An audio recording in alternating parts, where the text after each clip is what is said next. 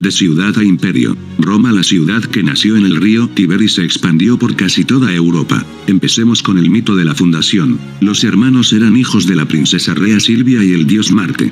Ares, su tío Amulio usurpó el trono y ordenó que los bebés fueran abandonados en el río Tíber. Una loba encontró a los bebés desahuciados y los alimentó como si fueran sus hijos, hasta que un campesino llamado Faustolos los llevó a su cabaña. Rómulo y Remo se convirtieron en dos jóvenes corpulentos e intrépidos, unidos. Cuando querían fundar la ciudad surgieron desacuerdos sobre dónde exactamente debería ubicarse la ciudad.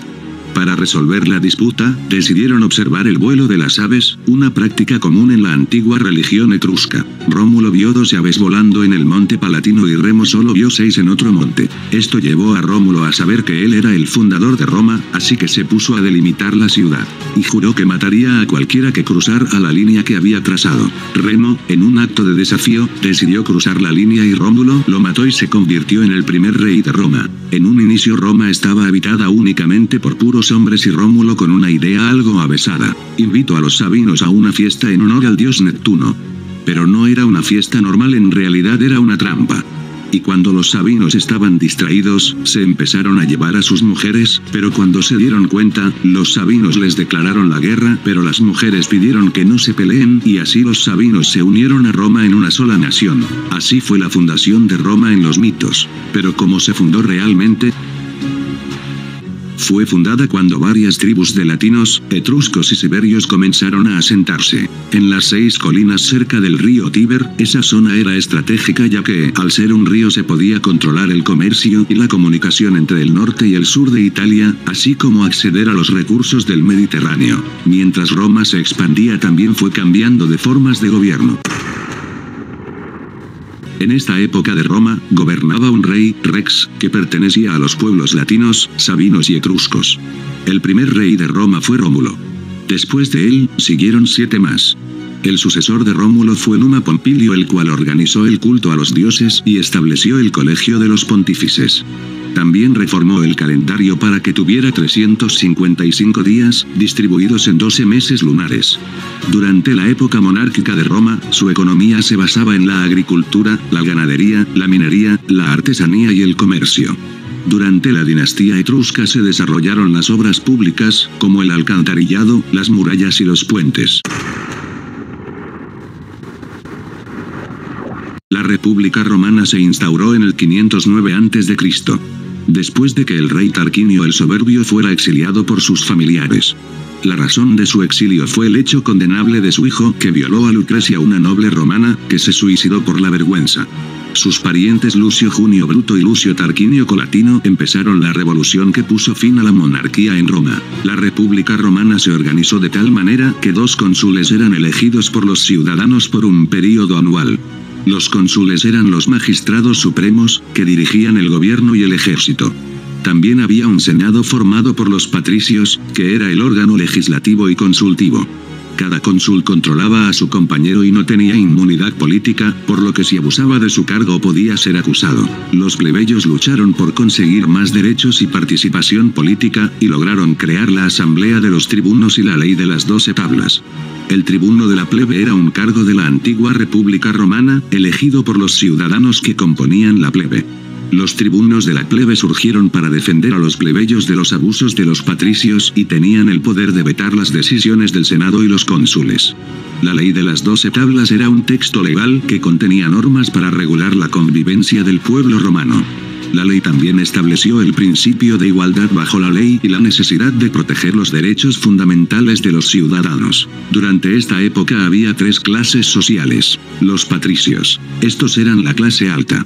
Ellos eran descendientes de los primeros habitantes de Roma y tenían todos los derechos, eran los únicos que podían acceder a los cargos públicos. Eran parte de la élite privilegiada. También eran los únicos que podían elegir o ser un cónsul. Los plebeyos. Eran la mayor parte de la población de Roma. En sus inicios eran discriminados por su clase social. Pero tuvieron muchas batallas contra los patricios para obtener sus ventajas, las cuales lograron. Sus profesiones eran en su mayoría comerciantes, artesanos, campesinos y soldados. Los esclavos eran considerados propiedad y pertenecían a sus dueños. Realizaban trabajos que los plebeyos no querían hacer, incluyendo tareas domésticas. No tenían derechos y su situación era precaria. La economía romana se basaba en la agricultura, la industria, la minería, el comercio y la esclavitud. La agricultura era la actividad principal, mientras que la minería proporcionaba materias primas como oro, plata, hierro y mármol. El comercio se beneficiaba de la expansión territorial y la construcción de infraestructuras. La esclavitud era fundamental, proporcionando mano de obra barata. En el siglo I a.C., las grandes haciendas desplazaron a los pequeños agricultores, forzándolos a emigrar o unirse al ejército. La religión romana era politeísta, influenciada por los griegos. La cultura romana fusionaba diversas tradiciones, destacando en arte, filosofía, ciencia, arquitectura, literatura y educación. La escritura y el lenguaje se basaban en el alfabeto latino y el latín, que evolucionó hacia las lenguas romances. El sistema numérico romano utilizaba letras del alfabeto para representar números, con reglas de suma y resta. La nueva República Romana estuvo asentada en el centro de Italia y se empezó a ser potencia en la península itálica y a su vez empezó a batallar con los demás pueblos itálicos. Las primeras batallas fueron las guerras latinas que se llevaron a cabo en las llanuras del Lacio, quienes una vez conquistados fueron convertidos en colonos y formaron parte del ejército romano. Luego siguieron las guerras samnitas, las guerras pírricas y las guerras latinas, que enfrentaron a Roma con los pueblos de los Apeninos, el sur de Italia y el Lacio respectivamente. No fue hasta el siglo II a.C que Roma logró someter a toda la península itálica y otorgar la ciudadanía romana a sus habitantes. También se conquistó a las polis griegas al sur de la península, que formaban parte de la Magna Grecia. Roma entró en conflicto con las colonias griegas de Sicilia, que estaban bajo el dominio de Cartago, durante las guerras púnicas. Estas fueron tres guerras que enfrentaron a Roma con Cartago, la principal rival por el control del Mediterráneo. Después de derrotar a Cartago, Roma se apoderó de Sicilia y luego de toda la Magna Grecia. Roma también invadió Grecia continental y la anexó como provincia en el año 146 a.C. La sed de expansión de los romanos ya estaba naciendo. A finales del siglo III a.C., la primera provincia romana fuera de Italia fue Sicilia, que se obtuvo en el año 241 a.C. Tras la Primera Guerra Púnica, Luego siguieron Córcega y Cerdeña en el año 238 a.C. Y la Hispania Citerior y la Hispania Ulterior en el año 197 a.C. La expansión romana por el Mediterráneo se consolidó en el siglo II a.C. Con la conquista de Macedonia, Grecia, Asia Menor, África y Siria. Eventos importantes. La reforma agraria de los hermanos Graco buscaba redistribuir las tierras entre los campesinos pobres, pero enfrentó fuerte oposición de los terratenientes y el Senado, resultando en el asesinato de los hermanos. La Guerra de las Galías, liderada por Julio César entre el 58 y el 51 a.C. Fue una serie de campañas para someter a las tribus galas, otorgándole fama y poder. La guerra civil entre Julio César y Pompeyo surgió por la rivalidad entre ambos generales. César emergió victorioso, convirtiéndose en dictador de Roma. El asesinato de Julio César fue una conspiración de senadores temerosos de su posible proclamación como rey, llevada a cabo el 15 de marzo del 44 a.C. La Segunda Guerra Civil enfrentó a los partidarios de César, liderados por Marco Antonio y Octavio, contra los asesinos de César, culminando con la derrota de estos últimos en la batalla de Filipos en el 42 a.C. La Tercera Guerra Civil fue entre Octavio y Marco Antonio, aliado con Cleopatra. Octavio emergió victorioso en la batalla de Acción en el 31 a.C., convirtiéndose en el primer emperador de Roma con el nombre de Augusto. El imperio romano comenzó con Julio César, que gobernó como dictador desde el 49 a.C. hasta que lo asesinaron en el 44 a.C. Sin embargo, la verdadera consolidación del imperio romano fue obra de la dinastía Flavia, con emperadores como Vespasiano y Tito. Después de César, llegó Augusto, el hijo adoptivo de Julio César. Tomó el poder en el año 27 a.C., convirtiéndose en el primer emperador. Durante su reinado, hubo años de paz y prosperidad conocidos como la Pax Augusta. Augusto creó servicios para los civiles, como los bomberos, policías y servicio de correos. Expandió las fronteras del imperio, uniéndose a Egipto, Panonia, Noricum. También estableció un sistema de gobierno imperial conocido como Principado. Aunque en la práctica él retuvo su poder autocrático, el poder gubernamental pasó a establecerse en el Senado. Augusto fallecería a la edad de 75 años en una villa en el año 14 después de Cristo, aunque hubo rumores de que fue envenenado por su esposa, murió de manera natural.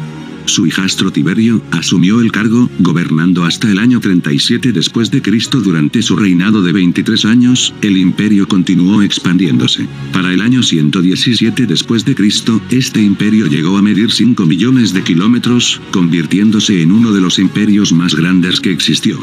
Durante este tiempo, Trajano fue uno de los emperadores más importantes del Imperio Romano, reinando desde el año 98 hasta su muerte en el 117. Durante su reinado, el imperio alcanzó su máxima extensión territorial, así como la edad de oro del imperio romano. La caída del imperio romano de Occidente ocurrió en el año 476 después de Cristo, cuando el último emperador romano de Occidente, Rómulo Augustulo, fue depuesto por el líder germánico Odoacro. Pero no olvidemos que la parte oriental del imperio, también conocida como Imperio Bizantino, continuó existiendo hasta el año 1453. El cristianismo fue permitido en el Imperio Romano por el emperador Constantino I en el año 313, a través del Edicto de Milán, que legalizó la práctica del cristianismo en todo el Imperio Romano.